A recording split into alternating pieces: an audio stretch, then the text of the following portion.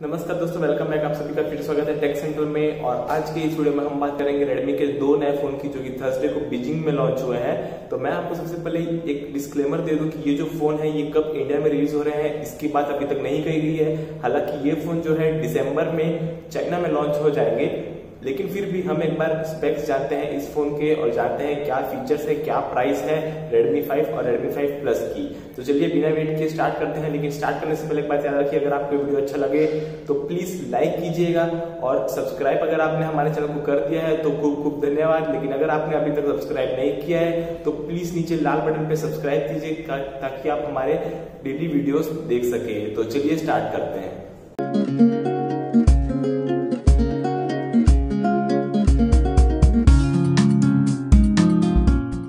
दोस्तों, सबसे पहले मैं आपको बता दूँ कि यहाँ पे दो फ़ोन है, एक है Redmi 5 और एक है Redmi 5 Plus तो हम ये दोनों फ़ोन को कंपेयर करेंगे स्पेक्स के साथ और दोनों की प्राइसेस को भी कंपेयर करेंगे।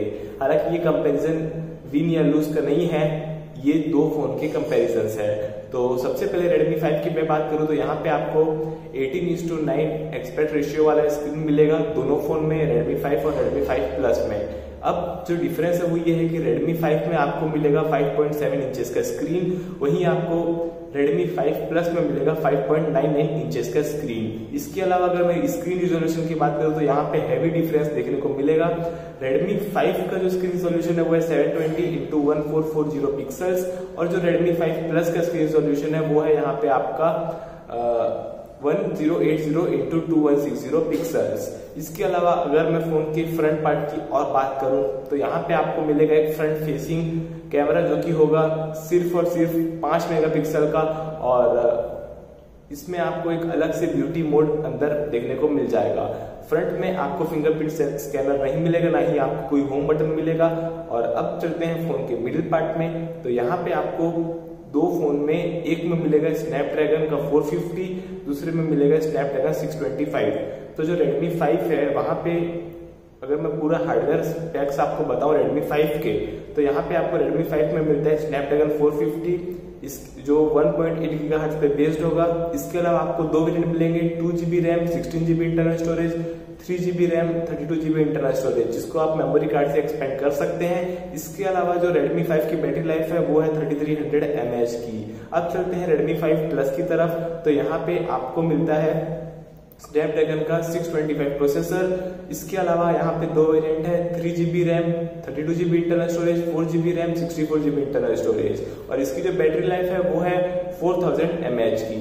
तो दोस्तों, ये बात की हमें हार्डवेयर की दोनों फ़ोन की। अब चलते हैं फ़ोन के कैमरे में। तो दोनों फ़ोन के जो कैमरा स्पेक्स है, वो बिल्कुल सेम है, कोई डिफरेंस नहीं है। यहाँ पे आपको बैक में एक सिंगल कैमरा मिलेगा, जो कि होगा 12 मेगापिक्सल का अपर्चर होगा 2.2 का। इसके अलावा बैक में आपको मिलेगा एक फिंगरप्रिंट सेंसर और इस फ़ोन में भी हेडफोन जैक आपको देखने को मिलेगा। तो दोस्तों, ये था कंप्लीट पैकेज Redmi 5 और Redmi 5 Plus का। और अब हम बात करते हैं कि इसकी जो प्राइस है, वो बीजिंग चाइना के हिसाब से इंडिया में क्या बैठेगी। तो यहाँ पे जो Redmi 5 का सबसे नीचे नीचे वाला मॉडल है, जो कि है सिक्सटीन जीबी का इंटरनल स्टोरेज और टू जीबी रैम वो आपको पड़ेगा सेवेंटी एट हंड्रेड का। इसके बाद Redmi 5 का three GB RAM thirty two GB internal storage वाला वेरिएंट आपको पड़ेगा। एटी एट हंड्रेड का। इसके बाद आपको Redmi 5 Plus उसका जो पहला वेरिएंट है three GB RAM thirty two GB internal storage वो पड़ेगा आपको 12,700 का। और जो लास्ट वेरिएंट है यहाँ पे Redmi 5 Plus का जो कि है फोर जीबी रैम और sixty four GB internal storage वो आपको पड़ेगा twelve thousand seven hundred rupees का। तो दोस्तों ये था कंप्लीटली पैकेज जो रेडमी की तरफ़ से आपको मिल रहे हैं रेडमी फाइव और रेडमी फाइव प्लस के तौर पे। तो दोस्तों आज के लिए बस इतना ही।